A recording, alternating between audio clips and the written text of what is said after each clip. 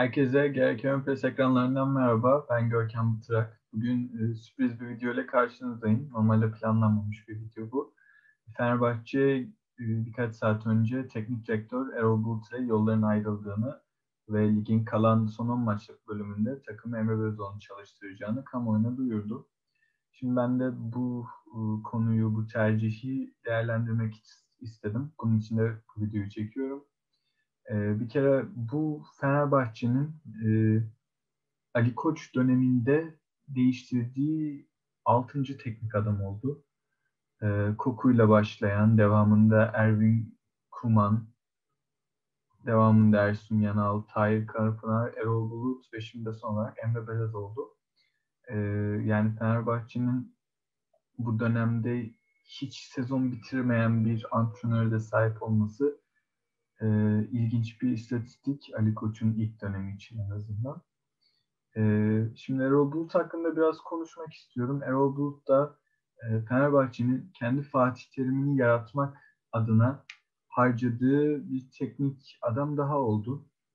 E, zamanında olmayacağı görüldüğü halde Aykut Kocaman'a gösterilen iltimaslar, e, geçmiş dönemlerde Rıdvan Dilmen'e, Oğuz Çetin'e yapılan e, verilen, Oğuz Çetin'e tanınan şanslar e, ve son olarak işte bu örnekte Erol Bulut oldu.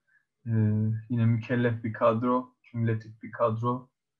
E, sezon başında e, transfer sezonunun şampiyonu Fenerbahçe başında e, hatta bir nebze gençleşen bir Fenerbahçe gerek başkanı gerek sportif direktörü gerekse teknik adam olarak yani yepyeni bir Fenerbahçe vardı. Şampiyon olması için kurulan bir kadro ve başında da Erol Hoca.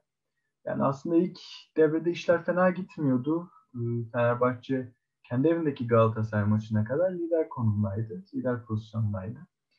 Ee, ama oyun olarak asla bir sistem oturtulmadı. Yani e, bugüne kadar şu an Fenerbahçe 59 puan topladıysa bu puanlar oyuncuların bireysel yetenekleri sayesinde gelen puanlardı. Yani oyuncuların bir şeyler yapması sonucu e, skorlar alındı. Fenerbahçe'nin iyi oynayarak kazandı. Yani bir oyun planıyla kazandı. Yanılmıyorsam dört maç var. E, yani bu Erol Bulut'un bir hatası mıydı? E, yani strateji olarak hatasıydı. Bir sezonun genelinde kullanılacak e, ana plan yaratmaktansa her maç özelinde farklı bir oyunla çıkmayı tercih etti. Haliyle bu oyun e, da tabii oturmadı. E, yani her maça farklı bir oyun sistemiyle çıkmaya çalışmak e, tabii ki oyun sıfırdan başka bir şey yaratmak demektir ve her haftada sıfır sıfır sıfırdan başlaya başlaya Fenerbahçe'de bir e, oyun hiçbir zaman oturmadı. E, devam eden süreçlerde de gerek mağlubiyetler, iç sahadaki kötü performans e, Fenerbahçe'yi etkiledi. E, şimdi Fenerbahçe yönetim açısından bakmak gerekirse bu karara e, oyunculara verilmek istenen mesaj bence şu. E, tabii ki bu mesaja katılmadığımı da belirteyim. E, biz şampiyonluğa inanıyoruz. Takımdaki o e, kötü havayı bir dağıtalım. Yeni bir kan getirelim ve son 10 maçımızda e, yapabildiğimiz en iyisini yaparak hedefe gidelim bir düşüncesi var. Muhtemelen yönetimdeki böyle bir karar alındı. E, yani e, çok yanlış bir karar olduğunu düşünüyorum. Çünkü Fenerbahçe zaten Göztepe maçıyla beraber bence lige havlu atmıştı. E, şimdi kalan 10 maçlık süreçte de aslında ya pozisyonunu koruyacaksın ya da en ihtimalle ikinci olacak Fenerbahçe. Ee, şimdi bu 10 maçlık süreci bence teknik adamıyla geçirmeliydi. Çünkü bu yapılan karar e, bir kere çok e, radikal, fazla radikal. E, hiç teknik adamla soyunmamış bir Emre Belözoğlu var ki bildiğim kadarıyla lisansı da yok. Şimdi yine altyapıdan muhtemelen sorumlu Tahir Hoca'nın lisansı kullanacak. E şimdi bunu düşündüğümüz zaman geçen geçtiğimiz sezonun e, son 8 hatta bir de kupa maçı vardı Trabzonspor'la. 9 maçlık döneminde bu metot denendi. E, Emre'nin takımı yaptığı, takımı çalıştırdığı, Tahir Hoca'nın lisansını kullandığı bir e, metot vardı diyeyim. Yani bunun işlenmediği de görüldü. Oyuncular sonuçta tek başına bir şeyler yapması mümkün değil. Bir omurga olmalı ve o omurga etrafında oyuncuların e, bireysel yetenekleriyle süslenmeli oyun. Ben böyle düşünüyorum en E, yani Fenerbahçe yönetimi bunu e,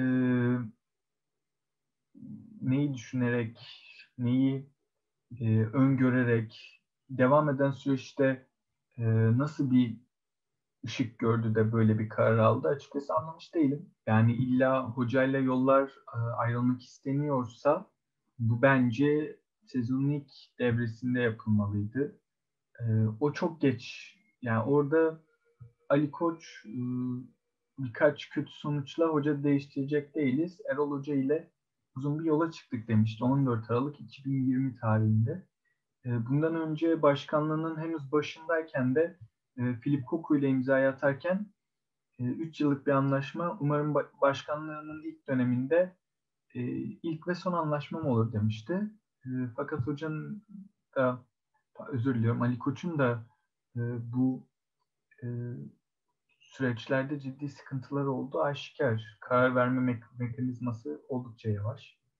E, yani dediğim gibi sezonun ilk yarısında Beşiktaş maçı değil, Yeni Malatya Spor iç sahada Yeni Malatya'ya kaybedilen maç sonrası e, yolların ayrılması gerektiğini düşünüyorum. Ondan sonra da zaten bir mağlubiyet yaşandı. E, yani bazen puan olarak bir şeyler kazansanız da oyun geriye gittiğinde oldukça e, riskli bir dönemde olduğunuzu görmüyorsunuz. Yani Fenerbahçe gerçekten ikinci yarının başından beri bir tek Trabzonspor maçında bir e, oyun planıyla kazandı diyebilirim.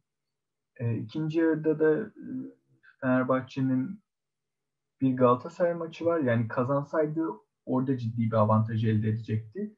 E, fakat onu da iç sahada kaybedince yani yine bir şans vardı. Puanlar eşitti, maçlar da eşitti. Herhangi bir maç farkı yoktu takımlar arasında. Yani orada yollar ayrılıp daha e, kaliteli bir teknik adam gelebilirdi.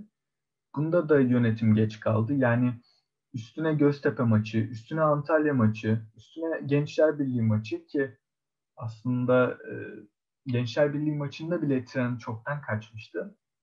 Hele hele Göztepe maçında. E, yani Göztepe maçından sonra alınması gereken bir karar karardı bence.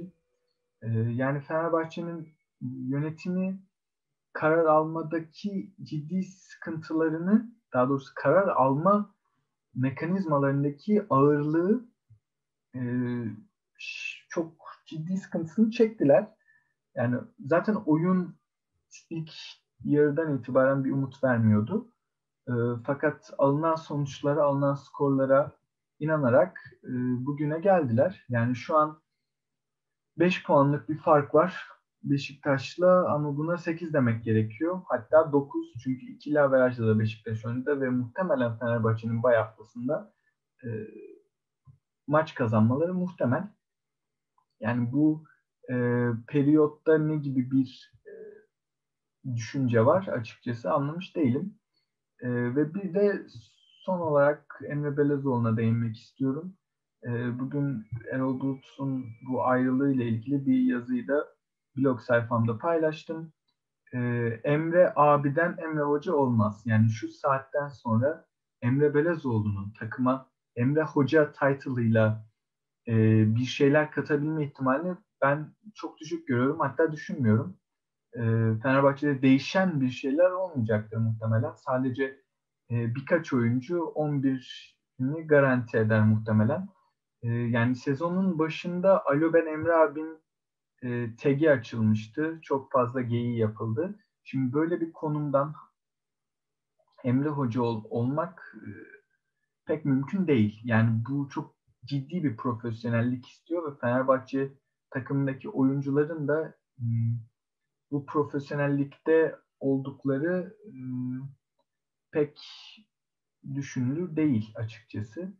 Ee, geçtiğimiz sezonda Nabil Dirar'la bu e, konuyla ilgili bir kavga yaşamıştı. Sen sportif direktör müsün, oyuncu musun diye.